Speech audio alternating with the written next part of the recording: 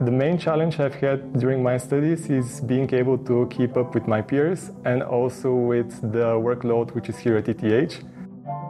My name is Kiril Vasilev and I'm a data science master student and an ESOP scholar at ETH. When I was 12, I got introduced to programming for the first time. I also got into mathematics since I studied in uh, High School of Mathematics in Plovdiv, Bulgaria. When I initially came here, my workload expectations were much more different than what they turn out to be. I've always had the passion to be able to be one of the best students.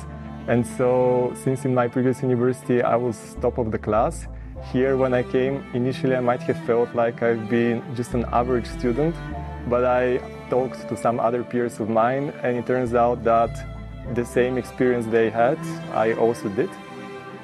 The best thing about studying at ETH, in my opinion, is being able to study alongside one of the smartest students in the world and also being able to get taught by professors which are experts in their subjects. I really appreciate the fact that if I have any questions during the breaks, I can approach them and ask and get more information besides what uh, they teach in the curriculum. The way that I study and prepare and overall live here in Switzerland is that Every evening before going to bed, I make a list of things that I plan on doing the next day. And once the next day has passed, I just look at the list of things I've written down. And being able to keep track of what I've done has really helped me to stay organized myself.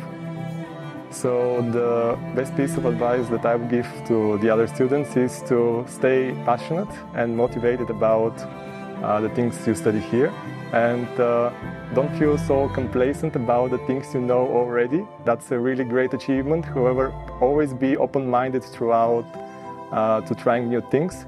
Since learning is a never-ending process, there is always something new to find out. And that's really the nice thing about research, that you can always keep trying, you can always keep discovering new things.